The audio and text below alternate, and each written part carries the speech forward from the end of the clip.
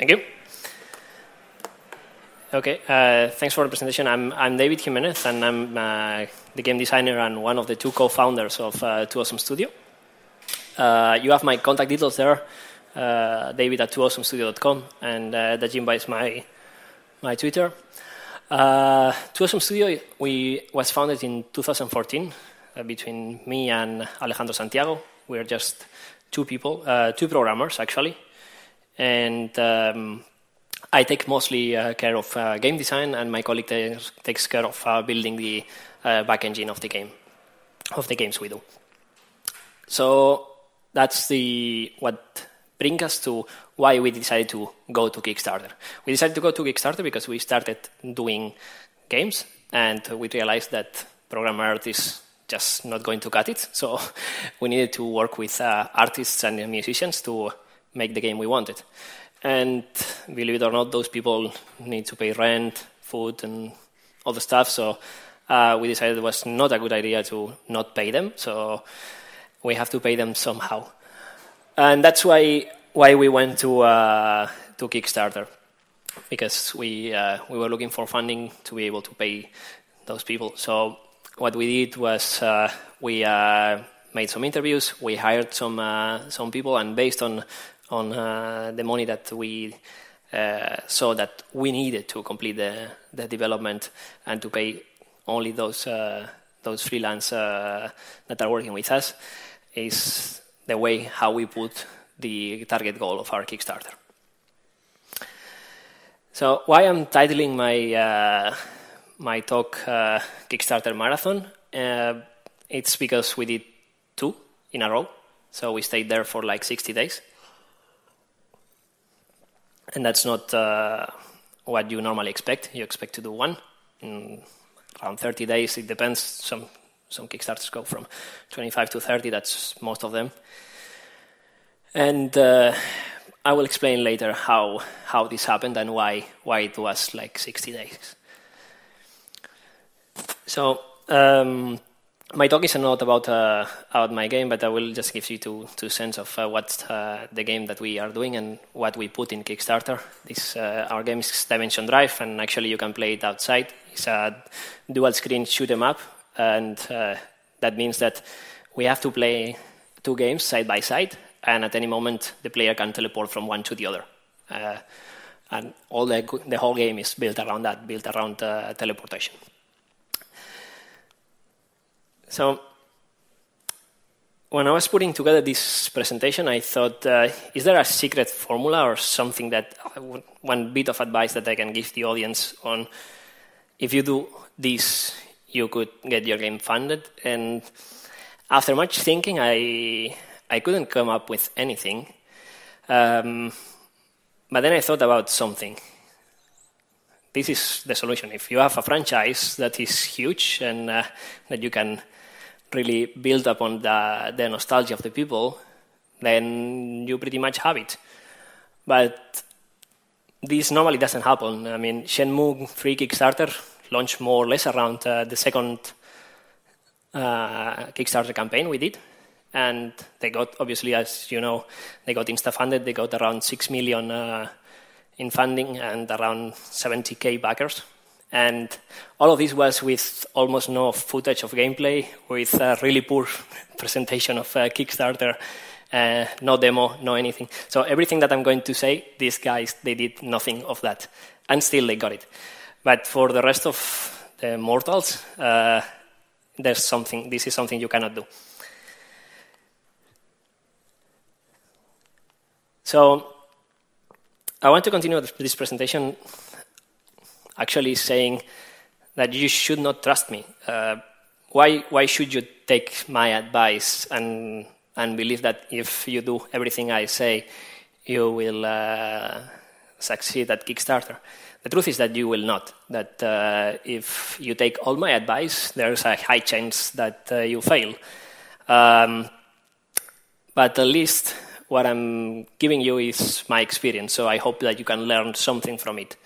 And uh, to balance a bit this presentation and not just give you my, my point of view, what I did was I, I talked with other developers that have been in, uh, in Kickstarter, and I asked them for some bits of advice, of just like what quote of if you could say just one thing, what would you say to to people that is thinking about Kickstarter?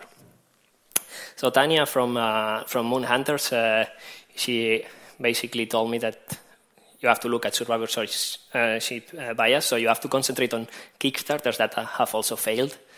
Uh, this is something that we didn't do, and uh, I think it's also something that damaged us, in, especially in the in uh, in our Kickstarter, because you you look at the ones that have succeeded, but uh, and you think, okay, if I do this, if I do that, but uh, you are missing the points of what you should not do, and that's as important, I think.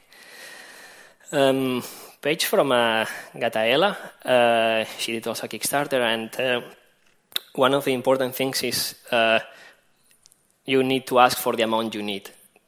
We see more and more Kickstarters coming out and asking for this amount of money, and from the get go, you can see that it's not enough and uh, this creates two problems. One is trust, because the your potential backers will think that you are not serious or that you have, are, have not properly allocated the budget.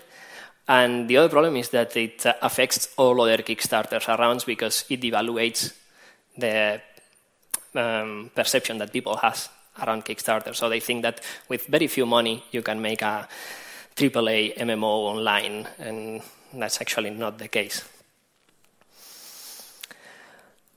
Uh, Don Thacker from Starr Mazer team, he uh, pointed out that you must commit every second of every day, and I cannot stress how much I agree with this. This is actually this is going to be actually like the biggest take from my talk that uh, you have to be that serious about this because it's going to be like three or four months of full time, including nights, most probably, of your life, not your work, your life. You will be 24 7 on this. Um, Ruud Korrevaar, Dutch developer, he points something similar. You have to, what counts above all is that you work hard and that you research what you are doing. Similar kind of advice from uh, Felix. Uh, he did uh, Crosscode, not on Kickstarter, but in Indiegogo, but more or less is the same because they used flex funding. So in the end, it was a similar approach for them. And this one from uh, Philomena, uh, they're actually in Kickstarter now with uh, this game, Niche, a genetic survival game. Uh, they are, I think, like 250% funded so far. So they are doing pretty well, actually. And for them, their, their main goal was actually to build a community, not, not only for funding. Uh, I added this this morning. I was talking with uh, Koen from uh, from uh, the team of uh, Deliver Us The Moon, and uh, one of the things uh, he found important was adaptation. In their in their Kickstarter campaign, there was one moment where one Twitch streamer decided to take their game and broadcast it to a massive audience, and from that they got a huge influx of people coming to their Twitch and coming to their Twitter account, and all of a sudden they had a huge community that they needed to be able to manage. And that was kind of a make or break moment where if uh, it wasn't with for their ability to adapt to this new situation and have like I think they had like three or four people just on community management from that moment onwards, uh, they wouldn't have made it. And this was huge for them. Uh, you will see that in our case, we had kind of a, of a moment like that where we had to take a decision and we had to adapt uh, really fast on, and decide what to do. So, what I would like to say is that one thing is your preparation, your expectations, but while you are there, you need to be prepared to be flexible and adapt to anything that happens during the, the campaign. And that may mean that you have a vision for your game, but people really focus on some other aspect of your game. We have seen uh, this happen, and maybe they, they like the two player version of your game or for some reason, and you will have to shift your focus, if, if even if it means that.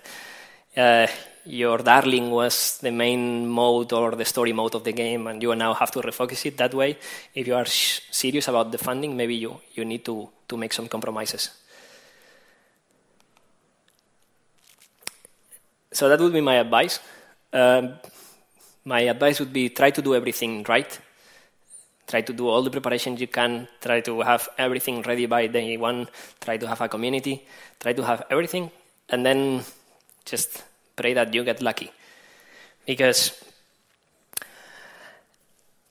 if I ask, uh, if I ask now, I mean, we are we are very few people, but um, how many of you are are doing a game, are developing a game, or okay? And how many of you think your game is good?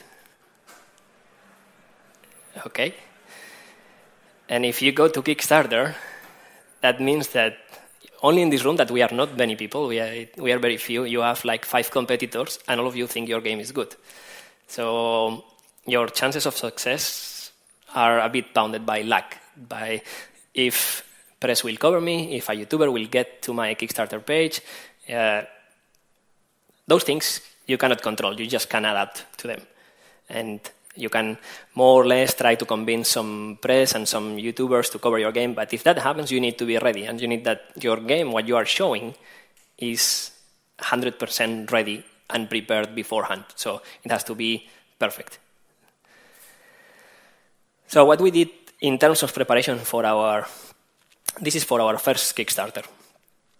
Uh,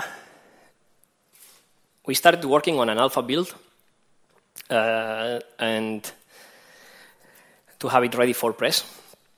And uh, we prepared a website for the game where we were concentrating all the traffic. We had a teaser trailer that was launched like three weeks before the Kickstarter. Then we had uh, we prepared a launch trailer. We did a green light campaign preparation to start at the main at the, at the beginning of the launch of the of the Kickstarter campaign to have cross fertilization between it.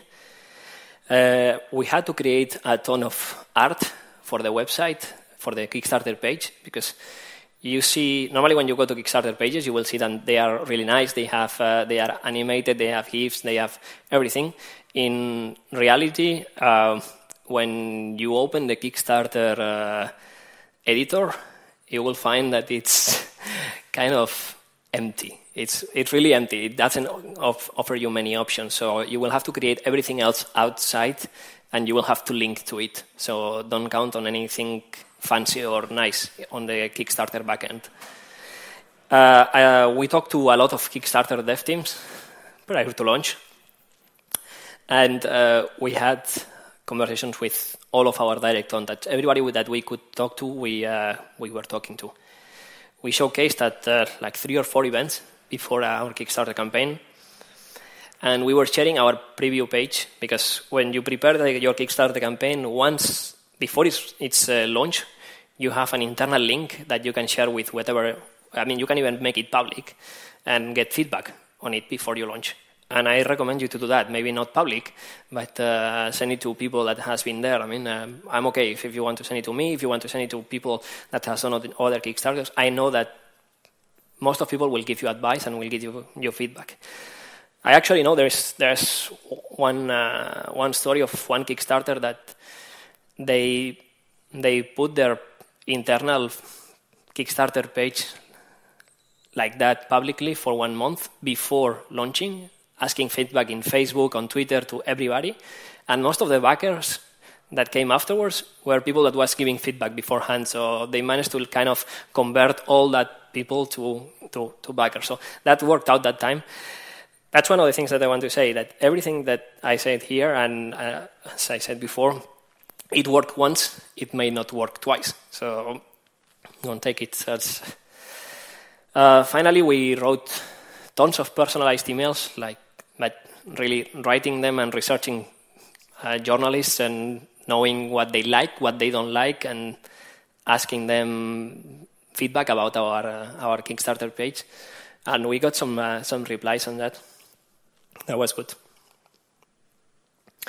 So this is the graph of uh, our first Kickstarter campaign. As you can see, we failed. Uh, we reached 78% funded. And there's something crazy going on towards the end. And that's many of you maybe I know this from the news that somebody decided to troll with us in the last uh, hours of, of our Kickstarter campaign. We were doing a streaming of uh, our last hours live, and one guy, uh, we know the Kickstarter username was Jonathan, decided to give us the 7,000 euro that was missing to get funded in the last, I think it was in the last two, three hours of, of our campaign. And we got funded. And it was, was incredible until we received an email from Kickstarter saying that uh, they were just trolling us and that the guy had used a stolen credit card. And obviously that money was going out. Uh, that guy apparently did the same to other Kickstarters. I know the people from Herald, also Dutch developers, they, they got hit by this, but it was at the beginning of their Kickstarter campaign, so it was not as damaging as, as or as, as crazy as with us. And so, as I was saying, uh, yeah, the point is you need to adapt. And uh, when that happened, the day after, we didn't know what to do. Uh, we were really thinking, okay, we throw out, we we finish, and uh, we we don't do any more Kickstarters, and we cancel the the game. In the end, uh, we didn't succeed, and uh, and the whole story was kind of crazy. But what actually happened is that all this uh, prank hugely backfired for for that guy, and actually was massively helpful for us because all of a sudden we were receiving all the traffic that we were not receiving before. And before we were nobody, now we were in all these news sites. We had YouTubers from the US to, uh, talking about what happened in our Kickstarter. And we even had Kickstarter themselves calling us the next morning and apologizing, saying that they didn't know how this happened and and uh, that they wanted us to, to go again on a second round and that they could uh, uh, help us out uh, by promoting our Kickstarter a bit. So we took the decision of, uh, okay, we had lemon, so let's make lemonade. And uh, we went forward with, with our second Kickstarter campaign. Before moving on to the second one, the summary of the first one, just just for you to have a bit of information, we had like 11,000 uh, video visualizations. All these statistics are coming from the Kickstarter uh, uh, backend. You will have access to all of these if you launch a Kickstarter in real time. Uh, around 30% of the people watched the, our video completely.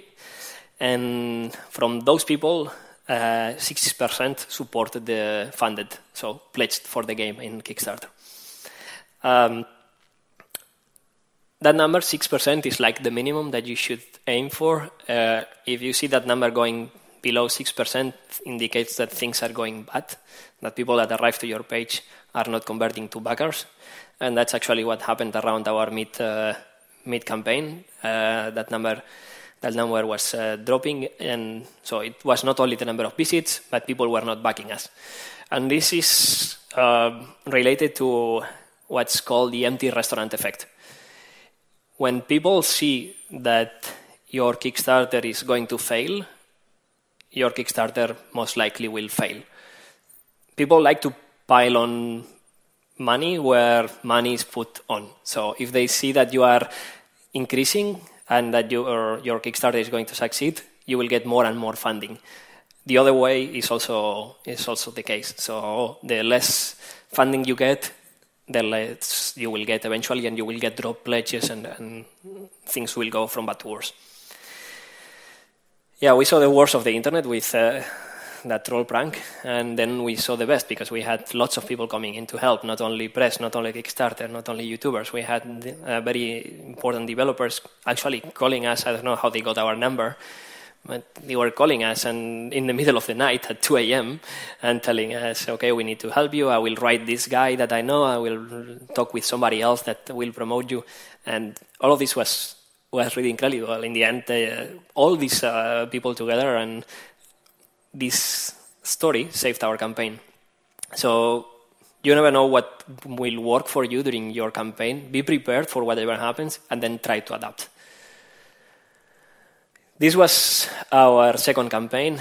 Uh, much nicer graph than the first one, at least uh, for my team. Uh, the first days were uh, massive. So in the first 48 hours, We uh, we got past 20,000 uh, euro when our goal was uh, 30,000. Uh, this was all the traffic that was coming from this troll story. And then we had kind of a nice growth until, uh, until more or less the middle. Then the, I don't know if I have a laser, po laser pointer here. I will try with this one, yeah. So here we got funded, and what's funny is uh, that when you are you get funded, suddenly you are news again. So people were writing again. With we had YouTube videos again that we were funded and that we had uh, we were going to stretch goals. So we had another nice bump, and then our mid campaign slump that normally happens through the middle, but as we were funded before, we got it afterwards. And we were expecting to have kind of a big, well, a big a push like this at the end, but it really didn't happen. And this was, you, you, normally should expect that. This is normally what happens if you look at uh, the graphs of, of most Kickstarters you get. And uh, you should have a, a, big boost at the beginning, a boost when you are funded, then some growth, and a small boost at the end. Uh, boost at the end. This didn't happen because we launched immediately, and with all the rush and everything, we didn't pay attention that E3 was landing at the end of our campaign, and Shenmue 3 launched during E3, if you remember. So it launched at the same time that we were ending our campaign, and uh, this graph is from uh, Google Analytics. It's not from Kickstarter. You can integrate Google Analytics in your Kickstarter page. I recommend that you do that from the beginning, and you will get much more statistics than you normally get. And what you see here is the the number of uh, visits and sessions that we were having uh, in our Kickstarter page. Uh, so we have a massive influx of people at the beginning, then kind of steady uh, people arriving to our Kickstarter page. This was when we got funded, and we were expecting something like this, but no. Uh, we didn't. Ha- we were not having this. These are visits to our Kickstarter page, and we were we were having really little compared to to the end. Uh, it may well as be that uh, people saw that we were funded and we had reached some stretch goals, and they said, "Okay, enough." That can also happen. But uh, what I want to illustrate here is that we did this for the first campaign. We make sure that our launch and our end were not clashing with anything kind of huge that would drop completely us into the into the shadows. But we didn't check this for the second launch. We just launched immediately and uh, didn't pay attention. We do this. Okay. Uh, another thing that I want to mention is um, nationalities and the culture of uh, Kickstarter and where Kickstarter has been active for more time. Kickstarter started in the US, and there they really have a culture of funding and investing in, in projects. So what we saw, and this is kind of standard if you talk to other uh, people that has on Kickstarter, is that you will have first United States and closely followed by uh, uh, people from uh, United Kingdom for some reason, and then normally you have uh, your own countries. So I'm Spanish, and our company is based here in the Netherlands. So we had Spain and the Netherlands coming in third and fourth. What's important and what you should take out of this is that the United States is huge and is where most of your money will come in. So you need to you need to focus on them and adjust your way of life to their time zone. So we were having kind of weird sleep patterns because we were doing podcasts and joining YouTube uh, people and joining streams on Twitch at 3 and 4 a.m. in the night, and then going to sleep. And I remember one time when my colleague Alejandro almost came to my house to kill me because I messed up the time zones, and we woke up at 3, and then the the stream was not starting until 4, so it was kind of messed up.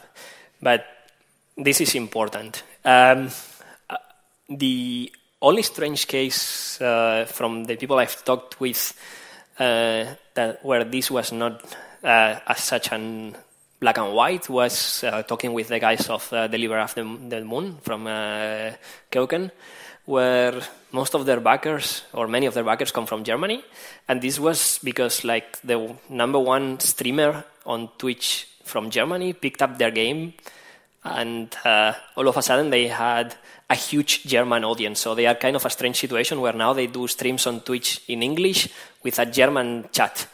Uh, so, but unless something weird like that happens to you, you will have United States up there. Um, in terms of where the traffic and the funding comes from, uh, this I don't know if it's big enough for you to read, but anyway, I'll try to. Uh, at the top, you have uh, the direct traffic. So you have like 469 pledges that were coming directly to Kickstarter uh, page. Uh, from those, from that uh, direct traffic, you don't know where they are coming from, but I recommend that you think about it like split it as if it were coming from the other places, because it may mean that somebody saw an article on Gamasutra or on Kotaku, and later they decided, okay, let's go directly to the day after. So it doesn't mean that they come, you cannot count them as coming from Kotaku, you don't know, or from Gamasutra, but they have to come from somewhere. They don't come directly to your website, okay? But once you uh, remove that out, uh, you have to count that uh, your social media is going to be really huge. So this I recommend that you prepare in advance, like six months in advance, start building a community in Twitter and Facebook, promote your game so that when you launch your campaign, you should aim at 10 to 25% of funding guaranteed. If you are not able to say with confidence that the day I launch in 24 hours, I will have 10 to 25% of my ask funded for sure, you are in big trouble already. So concentrate on on that. And building a community through social media is, is, is something really important. Uh, Kickstarter itself will bring you some, you see here, search on Kickstarter, you see this last 48 hour reminder, and uh, other Kickstarter uh, links. All of this is Kickstarter itself. So it means that people, when they are searching on Kickstarter, they find not only what they are looking for, but they find also some other suggested Kickstarters. They at in the 48 hours reminder, it means people that has come to your website, to your Kickstarter uh, page, and has cl clicked the remind me later, and then they will receive an email 48 hours before your campaign expires. Those people are important. And other Kickstarter links. Uh, this is something that I will talk about later, and it's uh, Kickstarter. In the end, you have to see it also like its own social network people has profiles there they comment they go from one project to another and so don't don't launch your kickstarter from an account that you just created the day you launch. Try to have an account that has been there for like one year and has been moving around has been backing other kickstarters has left comments in there an account that is doesn't look like empty. And uh, also what you will do is with that account you can talk with other Kickstarter uh, developers that are running Kickstarters at the moment or they have run Kickstarters in the past so that they can send updates and comments to their backers to say, hey, you should check this other Kickstarter also. And that brings, that, that will, that works pretty well actually. Um, obviously, press is important. Uh, you can see that from Polygon only, we got like 62 uh, pledges. It's not something to disregard. It's like 3% in the end. They seem small numbers, but uh, my colleague uh, was every day saying like something to me. It was like backer by backer. So you are having your numbers go one by one in the end. So even if you, you should never disregard just one person because in the end you are you are looking at them as as, as a combination. This is a summary of our uh, second Kickstarter page. Uh, second Kickstarter. Uh, uh so we had 63,000 uh, visits. That was much better than first time. Uh, 18,000 completed video plays. no, sorry, 18,000 video plays and 32% completed. We had a much better number of support around 7.2 supported our campaign. Other thing that is important is that people will drop pledges during the middle of the campaign, and this happens. This happens in all the campaigns I've talked with. Um, and you shouldn't take it personally. It was affecting me a lot when we were running it, and I was seeing people were canceling. I was thinking, okay, the last update I sent, I fucked up, and now they they don't. These guys they don't like the project anymore, so they left. Uh, you shouldn't think that way. People change their minds, and maybe they saw something else that they liked better, or they decided, okay, I don't want to, or I cannot spend like 20 euro this month or whatever. For some reasons, people will drop uh, pledges during the campaign. You have to allocate for that when you are doing your, uh, um, when you are preparing the your target goal. Um, then there's uh, a percentage of pledges that will fail after you have finished your Kickstarter and Kickstarter tries to collect the money from their banks. This is also normal, and this happens because uh, some banks may have uh, weird setups or that person doesn't have funds the moment that they try to collect the money, and around 2% is a, is a kind of regular number. You should expect something like that. So from our results, from the almost 37,000 euro that you see there, in the end, after everything was all said and done, we collected around 31.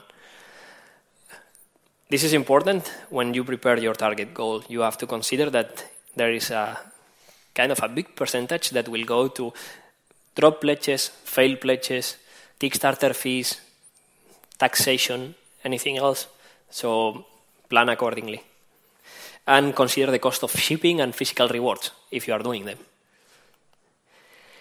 Coming to our, uh, our reward tiers. What we did, uh, this is a huge table. I don't want you to, I don't want to scare you with all the numbers, but this, these were all of our reward tiers. And what I, uh, I did here is I show you the, um, our expectations. So you see the our estimation of the amount of backers that we were expecting there and the real backers that we got in the end, and the same with money. I recommend that you do this when you are preparing, and if your estimation is already below your target, uh, you have kind of a problem. Uh, it doesn't mean that you have to uh, fake it so that it matches, but do your research, look at other campaigns that have a similar target as, you, as yours, that are in the same genre, and see if how much people they have in the different tiers if they are more or less in the same values. So what I'm showing you here is uh, all those ones, uh, they were really below our expectations. These were kind of aligned with our expectations. And these ones, for some reason, worked really well. So um, what it's important uh, that you take from here is that uh, most people will go for your game, and that's it. Um, some people ask went for the game and a bit more, but this was also still a, a, very cheap tire. So you will have huge numbers in the in this in the small tires. We had kind of bad numbers in the middle tires, and in the big tires, uh, it worked a bit better, as you can see. So for some reason, um, in our Kickstarter, our mid-priced tires were maybe not attractive enough or they were not providing enough uh, value for money for the people that uh, were backing. So they didn't work out that well. That's something that you have to decide and, and see how, um, how to make those tires attractive. Uh, we, we didn't manage to, to do these uh, mid, mid, uh, mid uh, price tires attractive in that sense. So what went right in the second campaign? obviously that we got massive uh, press coverage. That was uh, extremely important because it meant that on launch, on the first 48 hours, we had already like 70%, 75% funded. That's not something you expect. Social media worked extremely well the second time around. This time, and we didn't do this for the first uh, campaign, we put an alpha build ready and available for everybody to play. And that was removing one of the biggest problems that Kickstarter has now. Um, I mean, you've you've seen everything in Kickstarter. You've seen people that uh, they they cancel the Kickstarter, and then you see on the press that they, they spend the money on booze and parties, and uh, or uh, or they just disappear with uh, the money. I mean, I think like two days ago there was one Kickstarter that cancelled, and all of a sudden it it appeared on press that they were using interns unpaid interns for five years to do everything, and then there was one guy just putting all the money on the pocket. So people have a massive problem with trust.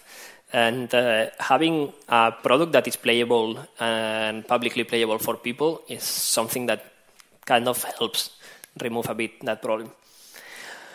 Uh, crossovers and cross promotion with other Kickstarter uh, work really well. We did uh, we were promoting other Kickstarters and other Kickstarters, as you see these there, Starr Mazer and Drifting Lands. Uh, those are just two of them, but they were kind of the biggest ones in terms of traffic that they came. The, the, the time, the day that Star Starr Mazer did the promotion, the cross promotion with us was was one of the best uh, days in in terms of uh, of pledges. And uh, from our tires, the ones that worked really well also were the interactive ones. And by interactive, I mean uh, people that can affect your game in some way. So we had like name, we had one that was called like name your enemy. So we gave the ability to those people to name one enemy in the game. Eventually, we ran out of them, and uh, we couldn't do anymore because we had no more enemies on the game. So, but this this was one of the ones that uh, worked uh, really well, or uh, uh, the ones that where uh, we left the opportunity to, to, people to help us and give us ideas on uh, bosses uh, for the game that also sold out. Um, so think about this kind of thing, and if you can include it in, in your Kickstarter, this may help you. Uh, what went wrong? And here I'm talking about, in general, both campaigns. Our visibility expectations for the first campaign were really way out. I mean, we, we were expecting that we will get featured in more places and we will get more traffic. But in the end, it was really impossible. We uh, uh, we tried to sell our story to YouTubers and the press, and not much, not many were picking up. As I said, the mid-price tires were uh, kind of a disaster. The alpha demo was not ready uh, on day one for our first Kickstarter, and actually we were developing it while doing the Kickstarter, so that was kind of crazy. Our updates were not ready for our second Kickstarter. This is also important. You should do updates at least every two days to keep your traffic and your community engaged. And they cannot be like, hey, we are doing fine, we just uh, passed the 20% mark, they have to have some meat. So they have to have some new piece of art or new piece of gameplay or uh, explain something about your studio. They have to have some content. And coming up with this, if you don't have it planned and prepared beforehand, is a nightmare. So think like one month before and have all these updates ready uh, so that you can just, okay, we publish this one now, and because it fits with what's going on now. Um, Many people don't have credit cards, and Kickstarter only accepts uh, credit cards. We didn't have any options to get fund uh, to to add funding from other places, um, but I've seen Kickstarters that are opening in their website uh, the option to pledge via PayPal or Humble, and then they put that money afterwards in Kickstarter to top up the the budget. Uh, I recommend you to prepare that there's also some like prepaid credit cards in the Netherlands and in Germany. I've seen that you can just buy and they work for like like like a credit card, but it's not a real credit card, and those work. And uh, well, the, what went wrong also was that we almost burned ourselves out after 60 days in in there. Some uh, final advice. Um, contact press and YouTubers well in advance. And when I mean well in advance, I mean not like two weeks in advance. I mean months in advance. If they have played your prototype, even better. If they have written about your your game before you tell them we are going to Kickstarter, it's much better because they don't like, which is normal, they don't like to cover Kickstarter projects anymore, just because of the problem I, I mentioned before, because more, many of them has have uh, hugely failed even after uh, after getting funded. So YouTubers and press uh, we prefer to write about things that can play, and then if they like your game, they may write afterwards when you launch a Kickstarter. Uh, I said this already. Try to talk with other Kickstarter uh, projects before and uh, have a plan with them so that uh, on such date we are going to do something together or we are going to do uh, even a, a tire in both Kickstarter pages that will give backers from my Kickstarter page something on your Kickstarter and things like that. This works really well because you have kind of crossing the audiences and people that is in the middle and like both games, they may fund both of you. So this this was this was working really well. Um, the three Fs. This goes hand in hand with what I said before of you need to be able to warranty that 10, 25% of your funding is going to happen for sure on the first 24 hours. And th- that funding mostly comes from friends, family, and followers. So it's people with that have like a direct contact with you, and it, this can be every everybody. I mean, talk to uh, talk to the person that you see in the gym every day that is not even your colleague, but that you see him, them like every week tell, tell them about your uh, about your game. Tell them about your Kickstarter that this is happening. They need to know that this is happening the day that this is happening, and they need to be ready with the wallet to pledge. Share your Kickstarter page pre-launch. Updates every two days, at least. If you do more, I mean, I remember one day that we did two in a row, and I, have some family that were telling me, "Hey, stop with the spam." Um, then have the updates ready before the launch and cross promo with Kickstarters that are currently running, not only with the ones that have been funded before and that not kind of massive. The ones that are kind of massive and they got funded in the past, and they, if they can promote you, that's nice. But the ones that are running, it works really well because those backers are there at the moment. So um, YouTube and Twitch obviously as you can imagine, is essential. And I talk about social media. One of the important things that many forget, and we forgot when we I wrote the, the Kickstarter page, and I will uh, will point you later to. Uh, there are some links at the end of my presentation of uh, things that may help you. One of the links is to the Twitter account of uh, Indie Gamer Chicks. She's kind of a gamer critic and she also works in investment. So she she, she advises on on investors on what and where to invest money on. And uh, if you talk to her um, and you send her your uh, Kickstarter uh, page before launching, she will look at it and she will review it, and she will probably tear it to pieces like she did with ours. And you will be really happy that she does this because you will find all the problems that you have before you launch because you don't want to find those later. And one of the things that many people forget is remember to sell. You are there asking for money. You are, yes, you are building a community. Yes, you are showing how good your game is. But uh, if I take the first draft of my page, it was just my game does this, my game does that. Look at this nice piece of art. But what you need to do is like in every two or three pages is your money is going to go towards this, and this is why you, we need your money to create this piece of art, we need to pay such and such artist. And this is why we need your money. So, in your whole Kickstarter page and in your video, everywhere in, around, and when people talk to you during those three months that your campaign is, is uh, going to, to go on, because it's not one month, it's the month before, the month during, and the month after, you should be ready to sell them the game. And people should buy you the game. And if you are not able to uh, sell your game to somebody that you are talking person to person, like here in Indievelopment, uh, you go to somebody, you show them your game, would you give me 10 euro for my game? If you are not able to do that in person here and you are shy about it, you will have a really hard time in, on Kickstarter because that's something that you need to do like 24 7. Uh, staff picks.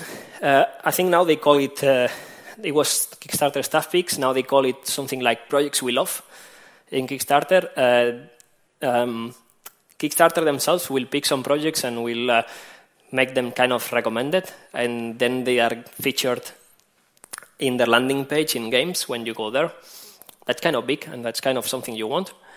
And believe it or not, staff picks are selected by Kickstarter staff, and those are just people. And they have an email address. So if you write them and you explain them why your game should be a Kickstarter uh, staff pick, maybe they buy your story. So try.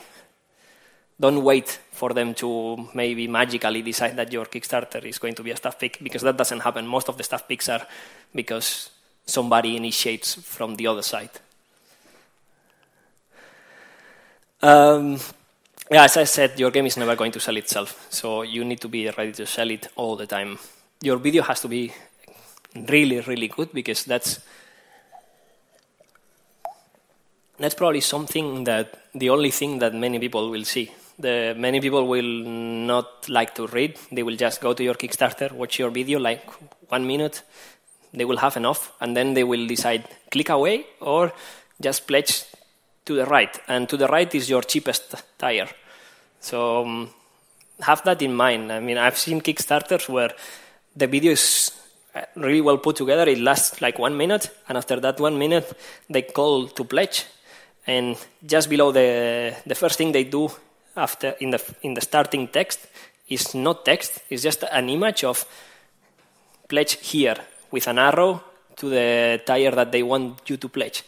And this kind of works. You, are, you can have tires that you open and close. You can, you can close them and open them manually. So some people open tires for like 24 hours when they start at the cheapest price so to rack up the numbers. And then when the 24 hours are over they close them and then they open them at a higher price kind of like a launch discount if you if you think about it.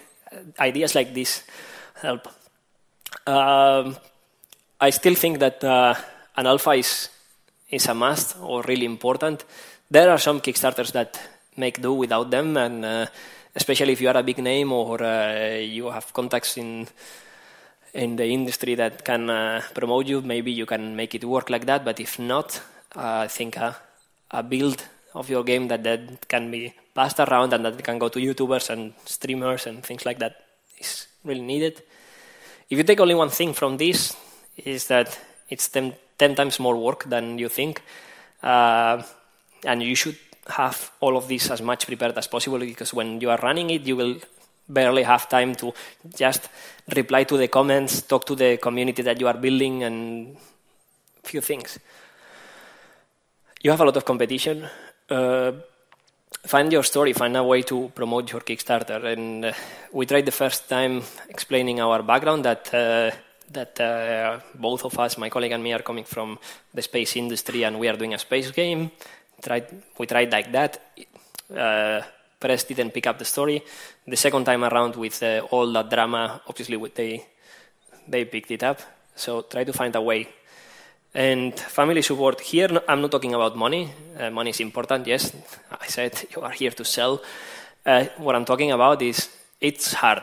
You will spend days and nights at your desk. I remember many, many days just where my wife was bringing me food to the table and, uh, and I was not moving from the desk.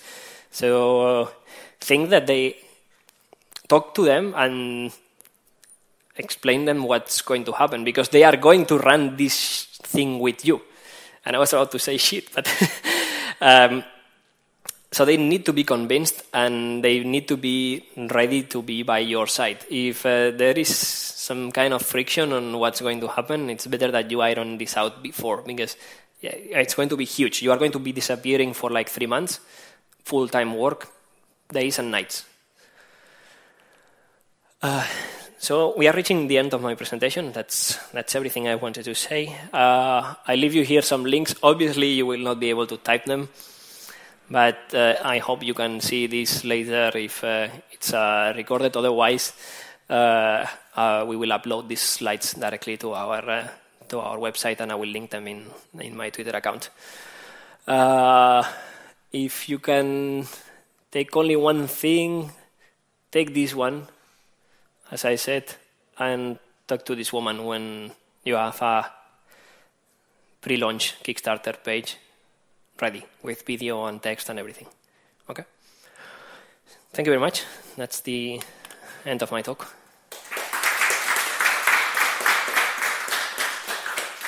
All right, we have, I think, 10 minutes for questions. Does anyone have a question? Uh, if you cross promo with a currently running uh, Kickstarter, aren't you afraid that they'll fund one of the two?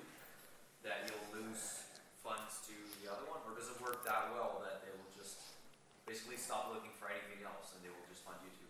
No, uh, normally that that should not uh, scare you away. What you are looking mostly is for traffic, and uh, people that drop pledges they don't drop them because they find uh, a Kickstarter that you are cross promoting to somebody else. Uh, mostly, what the people that uh, come from one Kickstarter to the other are very hardcore fans of your Kickstarter or their Kickstarter.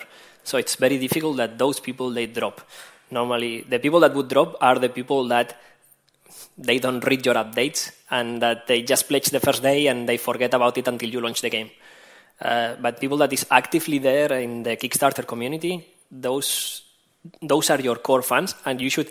It's not just about the cross promo; those they will they will be your core of the community even afterwards. I mean, we have those guys. Uh, I know them by name now, and they now leave comments on, on Steam like hours after we push an update of our build. So you have to be really treat those guys well. That's that's my recommendation. And uh, but no, I, I, don't think. I think the gain, the the benefit outweighs the the losses that you may have. Okay, thanks. Yeah. Uh, did you manage to get picked by the Kickstarter staff, the staff pick, and how did you approach them?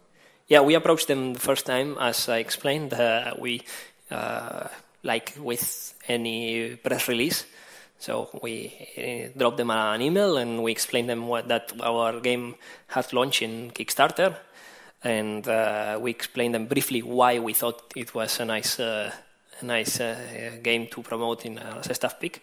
And yeah, we, we got it. I think it was like 40 hours later we, we got uh, picked. The second time we didn't have to ask because they already we had their phone even and and uh, and actually actually my colleague Alejandro met one of the Kickstarter staff in person at Quo Vadis in in uh, no at Amaze in Berlin. So so yeah, we we didn't have to ask the second time around. But yeah, it happens. If you ask, you may have a chance. if you don't, you don't.